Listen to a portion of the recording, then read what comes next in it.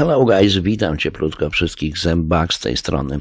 Słuchajcie, takie video dodatkowe do ostatniego tego naszego wideo, gdzie graliśmy sobie blues 1930 roku, prawda? Takie klimaty. E, więc e, słuchajcie, ja chciałem e, tak króciutko powiedzieć, czego użyłem, prawda, żeby przenieść się z brzmieniem do tego 1930 roku. Więc jest taka kampania jak ISO, to proszę zwróćcie uwagę tutaj, prawda, tak się to pisze przez małe i z, z o t o p z o p z o t o p i isotop. I to jest jeden z ich pluginsów, to jest vinyl, winyl, prawda, ta winylowa płyta, e, ta analogowa, e, stara, prawda. E, słuchajcie, więc ta kampania robi przede wszystkim dla, dla, dla producentów muzycznych też, ale filmowcom te, te, te, te rzeczy bardzo odpowiadają. Jak na ironię, tu dzisiaj u mnie kręcą na ulicy film, zaraz wiecie, przez okno i więc kilka słów, więc jak oni robią filmy, to wiecie, oni mają e, Avid Composer. Ten program to jest za kilka tysięcy dolarów, które im to ogarnia, te wszystko, prawda? I włączając audio. Co jest dla nas interesujące, że Avid, ta kampania robi najlepszy program, który istnieje w tej chwili do nagrywania, prawda? Pro Tools. E, teraz chyba 12 już są. Ja nie mam Pro Tools, ja mam inne. E, I więc te, słuchajcie, to, y, to nie jest jakieś, prawda, że to trzeba mieć e, dużo pieniędzy. Te Pro Tools najnowsze kosztuje około tysiąca dolarów, więc wiecie, i nie ma już nic lepszego. I to nie jest tak, że wiecie, że możesz spędzić więcej, wydać więcej pieniędzy. Nie ma, nie ma, nie, nie możesz wydać, bo nie mam w tej chwili nic lepszego, więc E, ci, ci chłopcy z filmów używają e, tego izotop e, produktów do, do czyszczenia swoich ścieżek w filmach. Ja również mam takie, takie te, które używa się w filmach. Możemy sobie o tym porozmawiać, prawda? Ja izotopa mam chyba gdzieś tak z 10 z 15 pluginsów, czyli tych wtyczek. Dzisiaj chciałbym sobie, żebyśmy sobie porozmawiali o jednej z nich. I słuchajcie, jeszcze tak słowem wstępu, więc e, ja mam wszystkich tych wtyczek potworną ilość, wiecie. W tej chwili powyrzucałem, ograniczyłem, mam tylko 737 chyba, prawda, mi się tu wyświetla, jak studio otwieram. W każdym razie, jeżeli jesteście tym zainteresowani, ja mam y, konsolę Epi na której nagrywali Beatlesi. Pink Floyd Wish You Were Here nagrywało na tym, wiecie. Beatlesi ostatnie albumy, więc możemy sobie popatrzeć. I dlaczego to mam? Bo słuchajcie, okazało się, że o e, te rzeczy y, jest bardzo duży taka tęsknota za, za winylem. Jak pojawiło się CD, prawda, to wszystko stało się wygodne. Ale to będziecie zaskoczeni, jak powiem, że płyta winylowa ciągle brzmi najlepiej. Tak, tak, tak. To jest, to są fakty, nie, nie, nie przeze mnie zbadane, przez, wiecie, przez specjalistów z branży. Płyta winylowa jest ciągle najdoskonalszym nośnikiem dźwięku. CD to kompresja, prawda?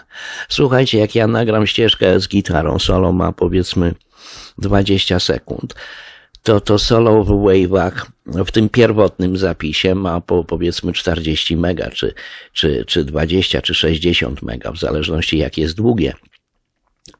Słuchajcie, więc to będzie kilkanaście, dwadzieścia sekund solo i będzie miało 60 mega czy 50. W 50 mega ile piosenek na, na MP3 możecie zamknąć? 10 lekko po 5, po 5 e, mega, prawda, każdą.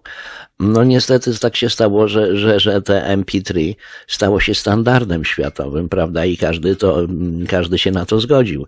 Oczywiście jakość jest absolutnie doskonała na MP3, na MP3 to nie szumi, to, to nie, nie, nie tego, nie, nie skacze igła na, na, na winylu i wszyscy, to jest wygodne, wszyscy tym się zachwycili, wszyscy to przyjęli i, i to opanowało świat, ale ciągle pamiętajmy, że najlepsza jakość jest ciągle z winylowej płyty. A jeszcze z tej matrycy to podobno nieliczni mogą to, tego słuchać, no to wiecie, to jest odlot taki z matrycy, z której się tłoczy, to jakoś tam się da tego słuchać, bo ona jest odwrócona, ale są jakieś tam, prawda, że to, to wtedy jest naprawdę rewelacja. Więc pojawiła się, się, się taka tęsknota za symulacją z tego brzmienia, prawda, winylowej płyty, wiecie. I dlatego ja mam takie urządzenia, które to robią. Jednym z nich jest tutaj ten. On ma akurat ten isotope vinyl, on ma akurat bardzo brzydki szum płyty, ale ja mam również RC20, taki plugin, który, na którym mi się skończyła licencja. Złe to są potworne pieniądze, żeby ten plugin dzisiaj mieć. A ja nie jestem w stanie go, prawda, odnowić licencji. Tam jest prześliczny szum winylu, prawda, te, te takie trzaski, te trzaski mam na myśli, bo tu w tym, w tym isotope vinyl pozostałe rzeczy są do zaakceptowania, tylko ten trzask jest bardzo ordynarny. Więc to tak się rzeczy dzieją, słuchajcie, wiecie. I mam jeszcze maszyny, maszyny, tape machines do robienia sandu z taśmy. No oczywiście tą Epi Road konsolę mam. E, to dużo, dużo wiecie takich ciekawych. Ja to przez lata zbierałem. I jeżeli jesteście tym zainteresowani, no to proszę napiszcie mi, jakie rzeczy Was interesują. Oczywiście mam pewną też grupę bezpłatnych pluginsów, ale to wiecie, to są, to nie jest poważne. Jak poważnie omyślicie, my, ktoś myśli, myślałem przynajmniej, może jeszcze myślę o, o produkcji muzyki, no to trzeba się opierać na dobrych, prawda, źródłach. I wiecie, co jest takie zabawne dla mnie, że, bardzo często widzę, nie bardzo często zdarzało się, że widzę na jakieś wideo polskie, jakiś chłopiec tam siedzi, opiera się na pluginsach tych bezpłatnych i on uczy, dzisiaj powiem, wam, powiem młodym producentom, jak produkować muzykę. Wiecie, to jest takie niepoważne dla mnie. Ale oczywiście, jeżeli, jeśli tak, prawda, sobie robi, no to e, może sobie tak robić i ma otwarte trzy ścieżki na przykład i on mówi o produkcji muzyki. Więc słuchajcie, to jest, jak ja mam projekt taki na poważnie, ten blues z Floydem, wiecie, co tam graliśmy, e, więc tam wiecie ile jest ścieżek? 28, około 35-36. Słuchajcie, o tym się, prawda, bo to się wydaje ogra muzyka. Słuchajcie, jak słuchajcie, słuchacie takiego nagrania jakiegoś, prawda, no tam jest około ponad 100 ścieżek, o tym się nie mówi. Tam jest może, może kilkaset pluginsów, nie przesadzam, ale kilkadziesiąt pluginsów, o tym się nie mówi. Słuchajcie, jak ja masteruję, Zazwyczaj na, na, na mastering, na master mix, na tym miksie jest około czterech, sześciu dużych procesorów, takie jak tu u mnie braku, prawda, są, tylko ja mam je wirtualnie. O tym się nie mówi, tego nie słychać, każdy bierze produkt, prawda, żeby, żeby grał ładnie, ale te, tego od, od strony kuchni o tym się nie mówi, tego się nie pokazuje. Więc dlatego chciałbym dzisiaj pokazać Wam przynajmniej jeden z takich pluginsów, jedną z wtyczek, E, którą użyłem w ostatnim wideo, to tak jak widzicie, to jest taki niepozorny ten szary trójkącik. Zwróćmy uwagę. Ja może omówię te rzeczy potem sobie, e, więc zwróćcie uwagę tutaj, tu, jest, e, tu są lata. Tu jest 2000 na górze, tu jest 1930. Potem mamy, wiecie, ja nie widzę, które tam, prawda, przepraszam. Bo wiecie, co się stało? Mój duży monitor, ten wielki, 40-inchowy wywrócił się i rozlał się, więc teraz jestem na monitorze, który zawsze siedział w raku jako pomocniczy. Mm, tak, 50 tu jest na drugim miejscu, 60, 70, 80, 2000. I wystarczy, że ja tylko przesunę tył, wiecie, i będzie mi się, będzie mi się, będą mi się zmieniały lata. Więc w tym momencie, jak ja włączę e, unmute na swój track, to jest 30 rok, wiecie. To ta gitara z tej lekcji, wiecie. Ja zrobiłem e, copy and paste, że to, żeby mi grało cały czas. Prawda? To jest 30. 50 lata to jest... Przepraszam. Ups, sorry. To jest to. 30 lata. 50. Idźmy dalej, 10 lat później. Ta gitara by brzmiała już tak. 50. 60. Już chwilkę się luz zacznie. 70. To jest to. Słyszymy, prawda? To się robi. 80 lata. Przepraszam. To jest 80. I 2000. Może jeszcze raz. 30 rok. 50. 60.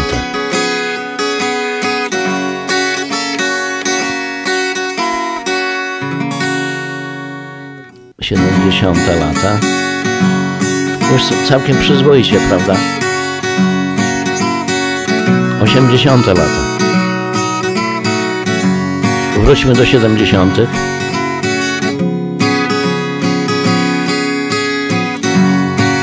Osiemdziesiąte. Niewielka różnica, prawda? I to, tutaj ten czas kończy się na 2000. Czyli powiedzmy w miarę współczesne brzmienie. Więc tak, i słuchajcie, tu z boku ta druga gałka to są obroty płyty winylowej. Jest, jak widzicie, ja mam nastawione na 75, prawda? Tu mamy singiel na 45, to robi też różnicę pewną. I na 33. Prawda? Posłuchajmy jeszcze może. 33. 45.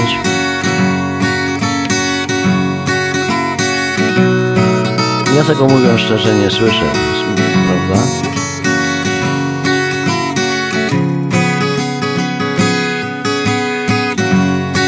W każdym razie to też ma wpływ, prawda? Tu te, te lata to są ewidentnie, prawda? To nie trzeba, nie trzeba mieć mm, słuchawek. I słuchajcie, ja użyłem w tym, osta w tym ostatnim wideo, przepraszam, tego użyłem, prawda? 1930, ale jak widzicie, tu są jeszcze inne rzeczy, które, które mimo, że możemy dodać smaczek do tego podstawowego brzmienia, które pochodzi stąd. Więc pierwszą rzeczą jest no, y, szum mechaniczny. Drugim tym suwakiem tutaj jest zużycie, prawda? To jest wear oni nazywają. A słuchajcie, bo jak, wkładacie koszulkę, to też po polsku mówi się, że ubieramy się, prawda? Więc oni w tym miejscu mają słowo wear, że ubierz to, prawda? I jak na przykład wear to jest, jak coś jest, e, mm, Gitara też jest wear, jak jest zgrana i prawda, zużyta, prawda, taka, e, e, wiecie, e, widać na niej ślady czasu, prawda, ślady użycia, to też jest słowo wear. Więc tu jest to słowo do tego nagrania w odniesieniu, żeby ono było takie zużyte, zgrane, prawda. Następną, następnym tym parametrem jest elektryczny noise, czyli normalny szum sieci, prawda, taki. Aha. W Polsce pamiętam, słuchajcie, jak, jak szumi wam sieć, to był dźwięk, dźwięk G, zwróciliście uwagę, to było blisko 50 Hz, czy 60 w Polsce jest. 50. Oni mają 60. Whatever. Więc to jest ten następny, jest ten, no jest elektryczny. Dust, to wiemy, prawda? To jest kurz. Jak macie, wiecie, zakurzony, tak jak u mnie mikser, no to jest słowo dust, więc ten dust jest również tu możemy dodać. Zaraz sobie zobaczymy, jak to brzmi. Scratch to jest to skrabanie płyty, prawda? Te typowe trzaski z winylu. One są tu, są tu bardzo brzyd, brzydko zrobione, więc tak jak ja miałem RC20, na którym mi się licencja skończyła. Ten RC20 robił prześliczny szum płyty, wiecie, te skracze, te, te, te pykanie te, tej igły na winylu.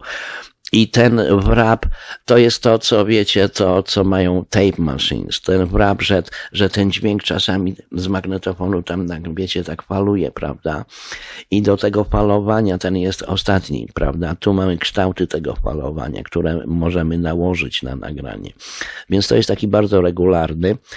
Tu jest ten jeszcze bardziej taki, prawda? Ten to działa jak taki lekki chorus. Zaraz sobie posłuchamy. Jeżeli, prawda, tu zrobimy więcej, podniesiemy poziom. I ostatni jest ten taki quang, quang. Ten robi do dołu. E, więc ten robi do dołu. Więc e, tak tu wygląda sprawa z tym. Tu mamy jeszcze, możemy dodać siłę tego, prawda? Mm, w tych dwóch i tu jeszcze zaraz ciekawy jest, zaraz powiemy o tym. Więc tak to wygląda. Pozwólcie, że ja teraz włączę to nagranie. Mamy tu ją nastawione na, na 1930 rok, prawda? Ja zabiorę tutaj miód.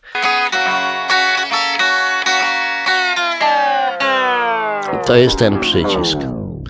e, że obroty w dół idą, prawda? Jeszcze raz, to jest dość ciekawe, słuchajcie, ja nie widziałem tego w innym pluginsie żadnym.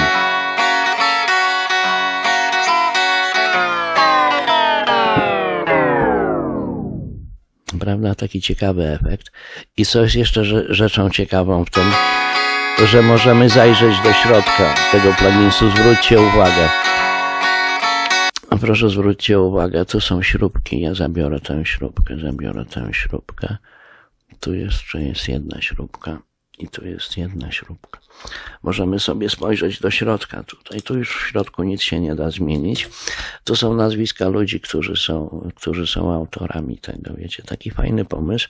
Przypominam, mówimy o Isotope Vinyl pluginsie w tyczce, która e, robi brzmienie analogowej płyty czarnego winylu. Więc pograjmy sobie. A więc słuchajcie, ja teraz dodam mechaniczny noise. Posłuchajmy. Ma maksa, słyszymy, prawda?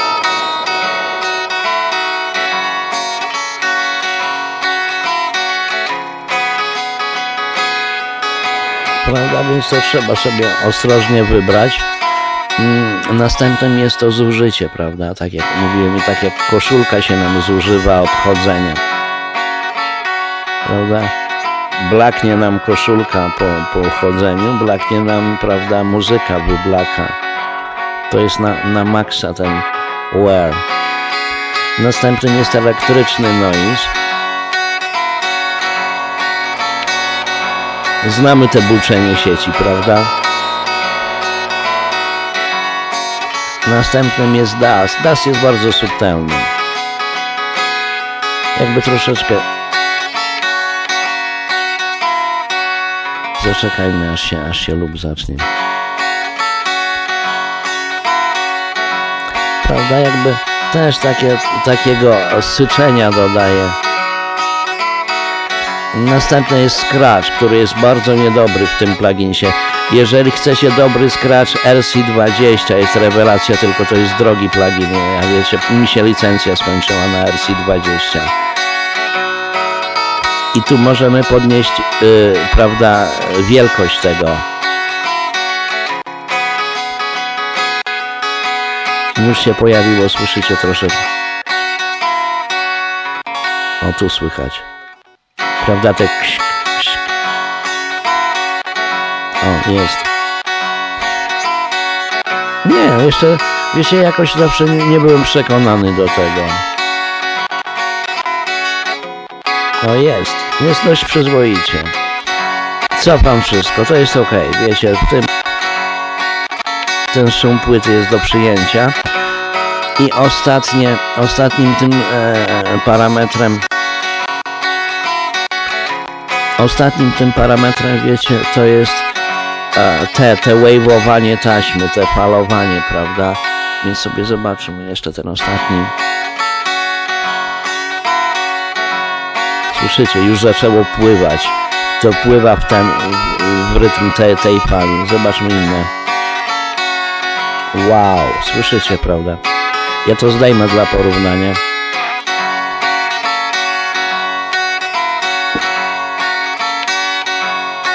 Już Zmieńmy sobie. Teraz odwrotnie, prawda? Tam, gdzie było w dół, to czy taki. Bez tego. Prawda? Więc jak to się subtelnie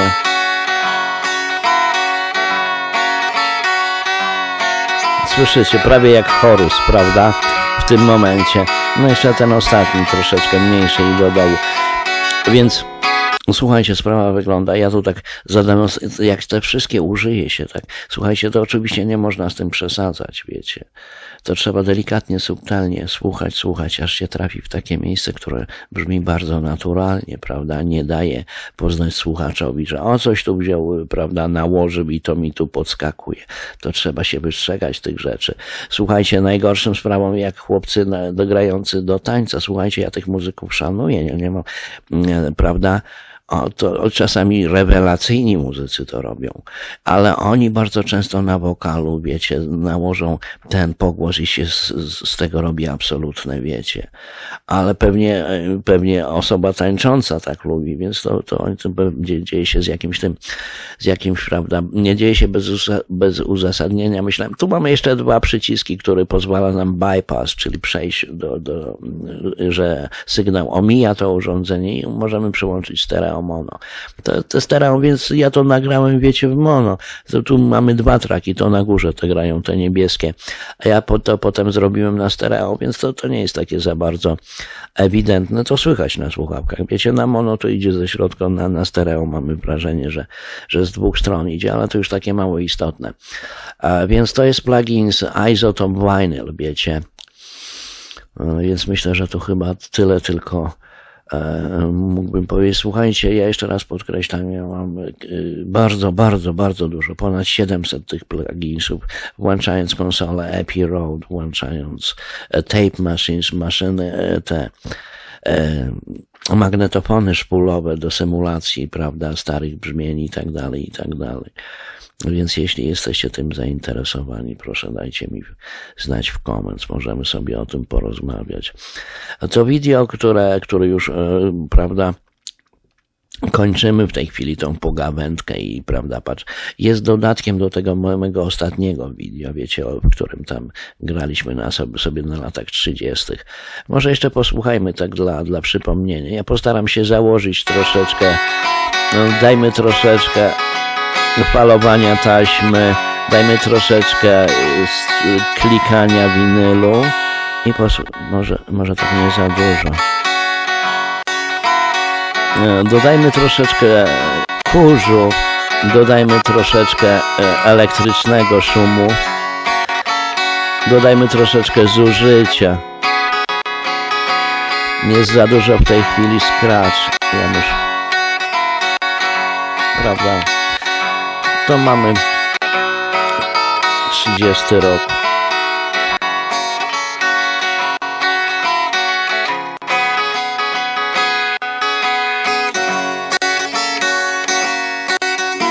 Sześćdziesiąty. Dziękuję ślicznie za Wasz czas. Pozdrawiam cieplutko. Zembak był tutaj.